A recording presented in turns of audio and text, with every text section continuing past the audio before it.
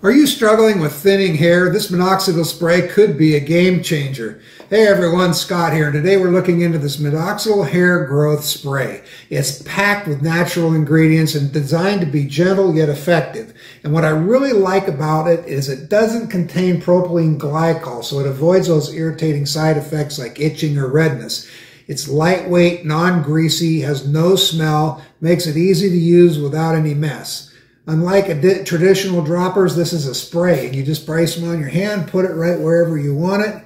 And on the spots that are thinning, massage it in until it's absorbed. It's that easy. The formula combines 5% minoxidil with 5% biotin along with herbal extracts like ginger, root, and red clover. The blend's designed to stimulate the hair growth by nourishing your scalp and enhancing hair follicle activity. With consistent use, the syrup can strengthen your hair from roots to helping it grow thicker, fuller, and heavier. I want to thank the sponsor for sending this to me. We're going to give it a try for 45 days or so. I hope it works. I give it a thumbs up.